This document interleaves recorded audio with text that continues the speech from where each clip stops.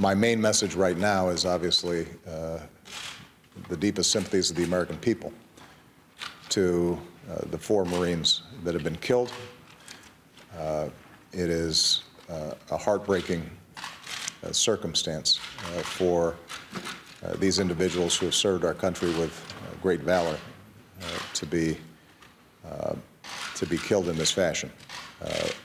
And although the, the families are still in the process of being contacted, uh, I want them to know uh, that uh, I speak for the American people in uh, expressing our deepest condolences and uh, knowing that they have uh, their full, they have our full support as they try to overcome the grief that's involved here.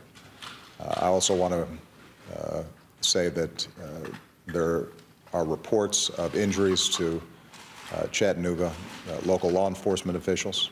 Uh, Thankfully, as far as we know at this point, uh, they have survived the assault, uh, and uh, we want to make sure that uh, they know that we're thinking of them. They're in our thoughts and prayers.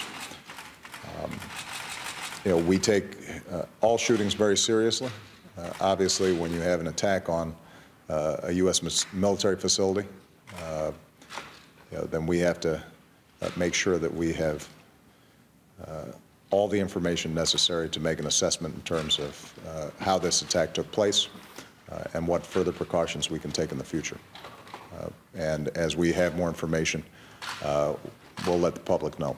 Uh, But in the meantime, uh, I'd ask uh, all Americans to pray uh, for the families who uh, are grief-stricken at this point.